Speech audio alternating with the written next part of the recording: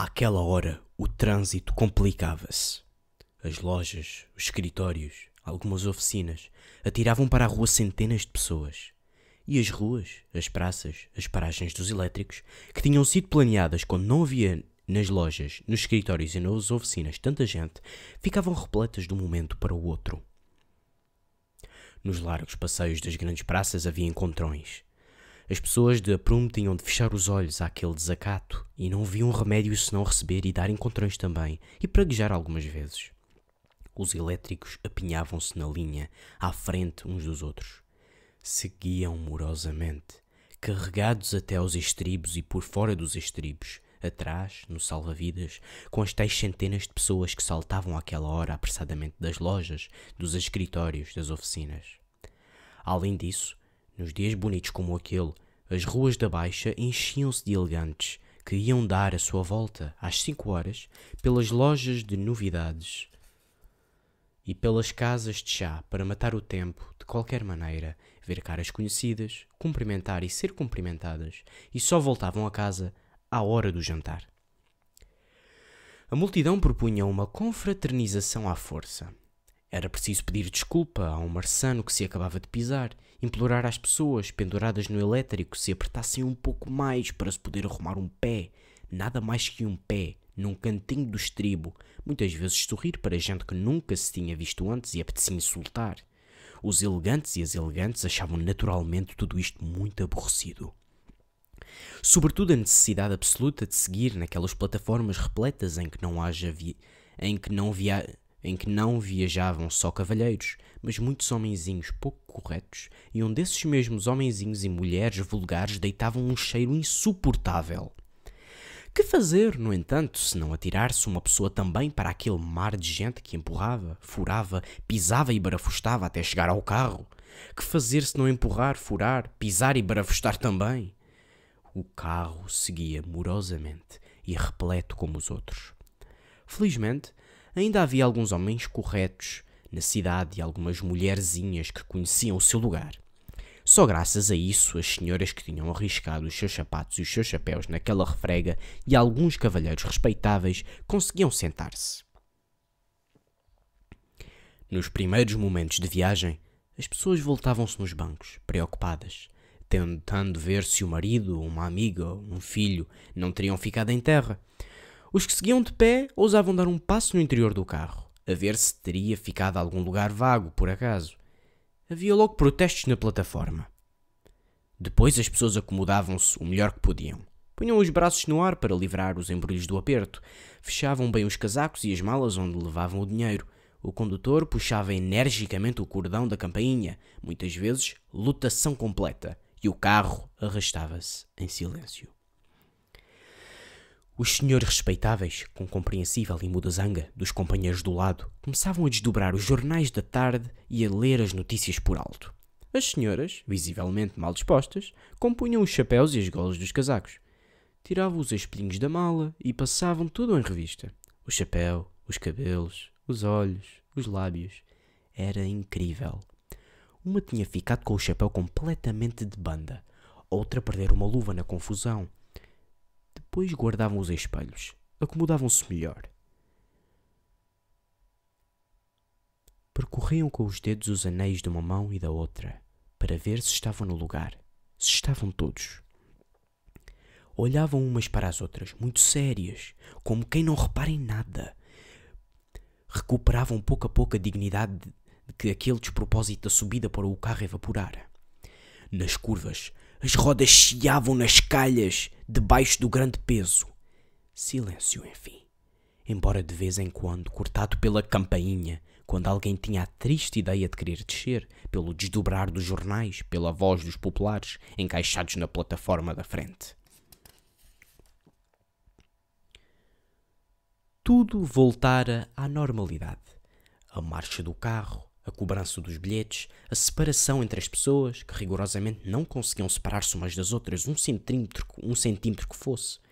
E assim, morosamente, por curvas e retas, por ruas e praças, aquele carro cumpria o seu destino de acarretar gente e ser insultado numa das várias linhas que ligavam o centro da cidade aos bairros, aos bairros, aos bairros relativamente novos, onde a separação entre a chamada classe média e as camadas mais baixas da população não fora ainda convenientemente estabelecida.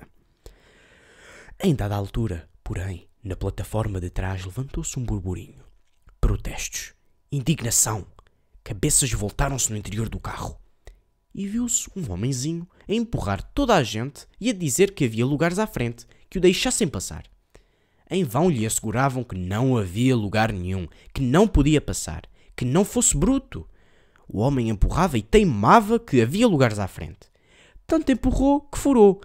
Tanto furou que conseguiu entrar no interior do elétrico. Avançou e foi sentar-se num lugar de lado que estava efetivamente vago lá à frente, ao lado de uma senhora, por sinal opulenta. Foi um espanto geral e silencioso. Ninguém tinha reparado no lugar. E menos que ninguém, como é fácil de compreender, a própria senhora opulenta. Todos os atrevidos têm sorte. O homem, que usava um chapéu coçado e um sobretudo castanho bastante lustroso nas bandas, não se sentou propriamente. Enterrou-se no lugar, com as mãos enfiadas pelas algibeiras dentro. Que sujeito! Devia ser mais novo do que parecia, por causa do cabelo, do cabelo grisalho e da barba por fazer. A senhora opulenta franziu a testa e remexeu-se no lugar, se assim se pode dizer, como quem procura ocupar menos espaço. Na verdade, apenas se instalou melhor. A sua intenção era fazer o homenzinho reparar na inconveniência da atitude que tomara, mas ele não viu nada disso ou fingiu que não viu. Olhou vagamente as pessoas que tinha na frente, estendeu os lábios e começou a assobiar. A assobiar muito à vontade no interior do carro. Primeiro foi um assobio baixinho, pouco seguro, imperceptível quase. Depois, a pouco e pouco, o sujeitinho entusiasmou-se e o assobio aumentou de intensidade. Ouvia-se já em todo o elétrico. Os, os passageiros, que tinham recuperado com tanto custo a sua dignidade, fingiam que não davam pelo homem nem pelo assobio. E sossegaram quando o condutor se dirigiu ao recém-vindo. Ia aconselhá-lo a calar-se, com certeza. Mas qual? Com o maço dos bilhetes na mão e de alicate espetado, limitou-se a dizer: O senhor? O passageiro tirou a mão da algibeira e, sem deixar de assobiar, estendeu-a com a palma voltada para cima. Esperou que lhe levassem a moeda, recebeu o bilhete e tornou a enfiar a mão pela algibeira dentro. Toda a gente seguia a cena interessada. Mas, quando o homem olhou as pessoas ao acaso, voltaram todos os olhos como se ele afinal não existisse. O assobio, umas vezes, era baixo, mal se ouvia, outras vezes alto, muito alto, com trinados ridículos e irritantes. Ninguém sabia o que ele assobiava, e o homem também não. Qualquer coisa que lhe apetecia que fosse assim mesmo. Às vezes repetia os sons como um estribilho. Outras vezes, porém, a maior parte das vezes, passava a novas combinações, ora brandas, ora violentas, sem querer saber para nada das que ficavam para trás. As pessoas começavam a olhar umas para as outras à socapa. Já se tinha visto coisa assim. Um ou outro cavalheiro levantava os olhos do jornal, franzia a testa, fitava com dureza o homem do chapéu, coçado e sobretudo castanho, na esperança de que ele, envergonhado, parasse com aquilo. A senhora opulenta, no auge do espanto, nem se atrevia a olhar para lado nenhum. Vexadíssima porque, sem ter culpa nenhuma, se encontrava em plena zona do escândalo a que uma pessoa está sujeita. E, no silêncio do carro, o assobio aumentava de volume. Talvez, no fundo, aquele, gurgue... aquele gorgueio ridículo não fosse desagradável de todo. Simplesmente, um elétrico não é o local mais próprio para exibições daquelas. Porque não interferiria o condutor. O condutor era a autoridade do carro. Porque não interferiria. Estava-se a ver era tão bom como ele. A verdade, porém, é que não se conhecia nenhum regulamento que impedisse os passageiros de assobiar. Colados aos vidros do elétrico havia papéis que proibiam fumar, cuspir no carro, era proibido abrir as janelas durante os meses de inverno, mas nem uma palavra a respeito de assobios. De repente, uma criança que ia sentada junto de uma janela e já se sentia enfastiada de olhar para a rua interessou-se pelo homem. Achava-lhe tanta graça, com o seu chapéu coçado, o seu sobretudo castanho, o seu assobio. Era uma criança muito pálida, de cabelos louros e encaracolados, vestida de azul. Interessou-se tanto pelo homem que começou a bater palmas. Mas uma senhora nova e bonita, que ia ao lado dela, segurou-lhe as mãos com gentileza e afastou-lhes. Devia ir calada e quietinha. Era muito feio fazer barulho no elétrico. Uma menina bonita não fazia barulho. Que disse eu à minha filha? No entanto, a senhora nova e bonita não antipatizava com o homem. Olhava os embrulhos de papel vistoso que trazia nos joelhos e pensava: se não pudesse mais e começasse também a assobiar. No fundo, admirava a sem cerimónia do homem do chapéu coçado. Não seria adorável ela própria, uma senhora casada e mãe de uma garota de cinco anos, começar a assobiar num elétrico se lhe apetecesse? Quando era da idade da filha, a senhora bonita ia muitas vezes ao campo vestida com coisas velhas para poder atirar-se para a relva à vontade. Tinha uma voz muito suave e muito fresca. Gostava de fazer precisamente aquilo que uma menina bonita não deve fazer. Os amigos do pai pegavam-lhe ao colo, atiravam-na ao ar, e ela ria, ria, ria até ficar sufocada.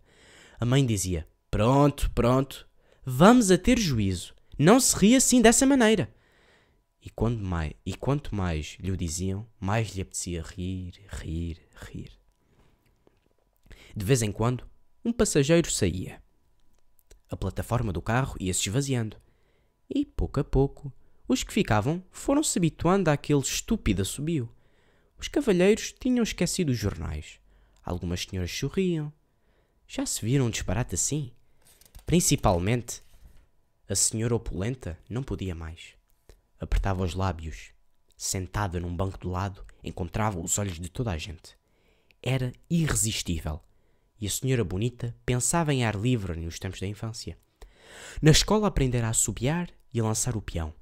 Havia vozes que tinham ficado dentro dela. Uma menina a assobiar, Nini? Em dada altura, o homem, sem deixar de assobiar, levantou-se e puxou, e puxou o cordão da campainha. Era um homenzinho insignificante, ainda novo e já de cabelos grisalhos, chapéu coçado, sobretudo castanho, muito lustroso nas bandas. Mas havia nele uma indiferença soberana pelo elétrico inteiro. Toda a gente o olhava. Com desprezo? Com ironia? Com inveja? Abriu a porta, fechou-a e saltou com o carro ainda em andamento. As pessoas voltaram-se então umas para as outras, não resistiram mais e riram mesmo. Que homenzinho patusco! Desculpavam-se, explicavam-se, sem palavras. Entendiam-se. Um minuto de simplicidade e simpatia iluminou-as. A criança que batera palmas limpou com a mão o vidro embaciado da janela à procura do estranho passageiro. Viu-o atravessar a rua, seguir pelo passeio agarrado às casas, desaparecer.